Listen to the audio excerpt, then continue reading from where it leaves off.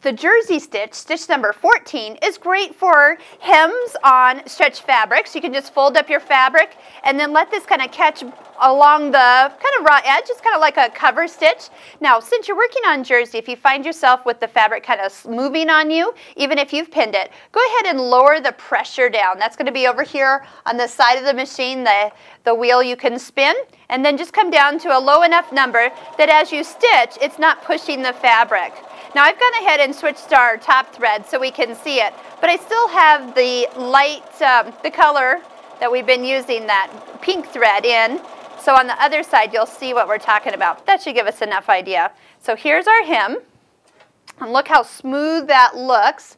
And then when we turn it over, how easy that is to blend in, yet still have the stretch and give on your project.